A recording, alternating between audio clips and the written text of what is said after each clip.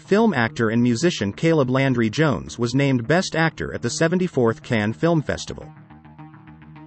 This decision was announced on Saturday by the jury of the show, led by American director Spike Lee, at the solemn ceremony of announcing the winners at the Palais des Festivals on the Croisette.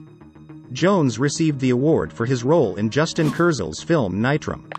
The main program of the festival consisted of 24 films.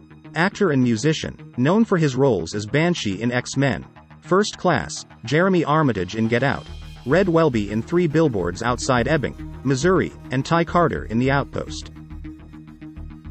Jones was born on December 7, 1989 in Garland, Texas to Cindy and Patrick Jones, and grew up near Richardson, where he moved with his family as a child, and where he later formed an experimental folk rock band, Robert Jones, with Robert Hudson.